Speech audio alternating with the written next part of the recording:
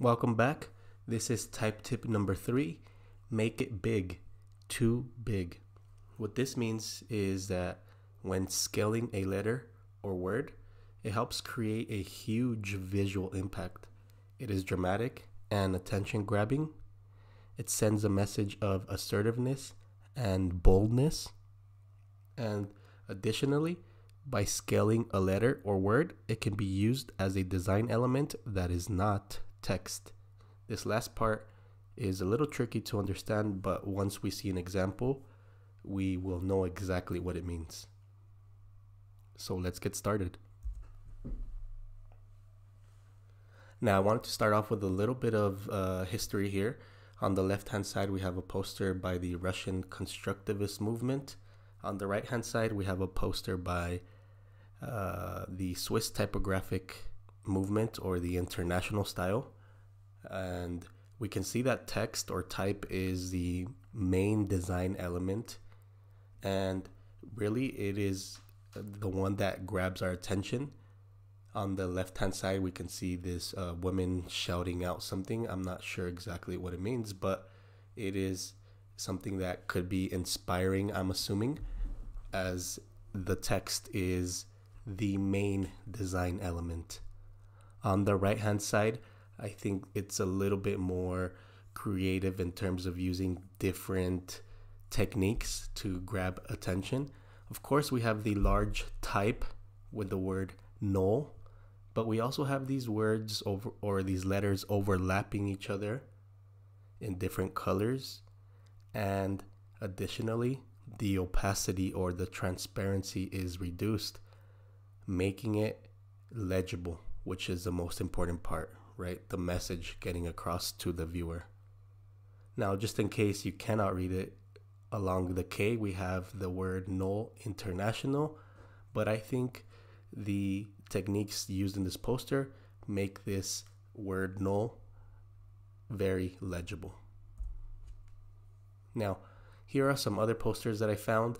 I know the ones on the right hand side are from the Swiss typographic movement. If you're not familiar with it, go ahead and look it up. They use type and text very, very efficiently and beautifully. But let's start over here on the left hand side. Now, again, type is the main design element in all of these examples that I'm showing you. But the scale of it is what brings the attention in. And then you get to add other techniques like reducing the opacity or the transparency overlaying it on top of one another, and then choosing some colors from color schemes, right? Blue and orange being complementary colors. Think about all the sports teams that use blue and orange. There's a reason for that. Now, the second poster, we have the word jam in there. Uh, these two posters here in the uh, the red and the blue ones, they are by this designer who was inspired by the Swiss typographic movement, and he created a whole bunch of band rock band posters in that style. Uh, go ahead and check it out. There's a link in the description. But let's let's continue. We have the word jam, which is not only large in scale, but it's also cut off. Right, the letter M is outside of our canvas or our poster. And additionally, we have the letter A within the J and the M. And there's really no confusion as to what this word is. But again, scale being the most important part of this type. Now, moving on to the blue poster, we have uh, this word blur. And this is when you get to also use the meaning of the word to your advantage. So what they did is they blurred the word blur down, they reduced the opacity, and then they overlaid it on top of one another. But scale, once again, being the main technique. Now, these two posters on the right, pretty straightforward. Uh, besides using scale to their advantage and as a technique, they are also using a grid system we haven't talked about grids yet, but it's very noticeable here. Notice how these red words are aligned to the same axis and same over here. Now this is the only one that uses an image uh, up to this point, but the image is kind of blurry and a little bit um, not well developed, one would say. But that is not the main design element, it is the type. But I think that poster is beautiful overall. Let's move on from posters and talk about books. Now, I think these first three examples are not only great examples of using scale in design, but notice how they use the meaning of the word to create this composition. The first one, the bed moved, there's no confusion as to what the title of this book is. Again, using scale to their advantage, but now they move the letters of the title and they place them throughout. Now, I wish that they would have maybe put the words the bed moved in a different color of pink just so that the title would be just a little bit more recognizable, but I think it works perfectly. Now, this middle left one on gravity, sorry about the quality, it was the best quality that I could find. And we have the word gravity that has fallen onto the book and it does what gravity does, which is it it makes things fall and it puts them out of place. And so another play on the word here, but again, there's no denying as to what the word is, but just in case we have the title up here on gravity. Another thing that I would like to point out from this book cover is that they used all low caps or um, regular caps, not caps lock or capital letters, and I think that's a, a design technique that's uh, underused and underrated. The next book, The Courage of Hopelessness. Now, I bet this designer, when he uh, designed this and he found the word Age of Hope within his original title, I bet he thought he struck gold because this is just genius level design here.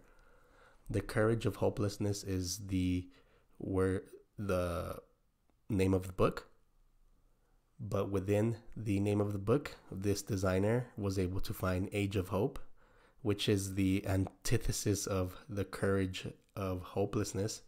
And so that's how then you can play with the meaning of words to your advantage. Another thing I would like to point out in this specific design is how the designer breaks the words up. Right? The word courage is broken up into two. The word hopelessness is broken up into three. Again, once you master one technique, you can then start adding other techniques onto your uh, tool belt and make even more dynamic designs, which is why we started this type tips uh, series. Now, remember how I said that uh, that last part would be confusing, uh, using text as more than a, a, design element? Well, this is the example right here.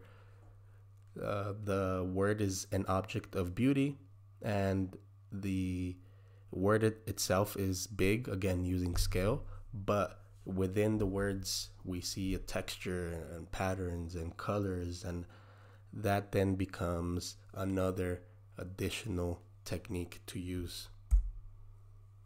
I also found some great web examples that use this technique of uh, scaling to their advantage. All these help to bring the viewer in or to just hold the attention of the viewer for just even two or three seconds longer which can make all the difference. Um, another example of using type as more than the design element, we have the word your brand matters down here and all of the images that are inside. Again, just to keep the viewer in engaged for just a few more seconds. And the last slide that I have for you is packaging. Again, using scale, making type big to grab the attention of the viewer, to make it playful, to make it fun, is what these uh, companies did. Now, I'm not sure if the first one is something that actually happened or it, it might just be a mock up. But I, if I were to see this, I would think, oh wow, this is amazing design in my food packaging of all things. Who would have thought?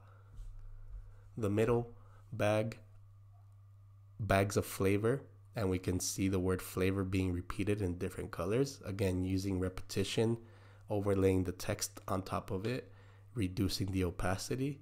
These are all techniques that you can be using in your own designs. And the last one, I think this one is amazing. McDonald's is the word, and it's broken up into two or three different uh, lines of text, and it's scaled up on the bag just to make it playful, just to make it fun, just to bring the viewer in for even a second or two more. And on the cups also, and using the different bold colors. I think these are all great packaging uh, designs using this uh, tip of scaling or making type big too big to their advantage. And Now I'm going to place the sources down below just in case you want to take a look at some of the designs that I put on this uh, presentation. Um, as always, have a great day. Thank you for tuning in. Don't forget to like, subscribe, and all that uh, YouTube nonsense. Thank you.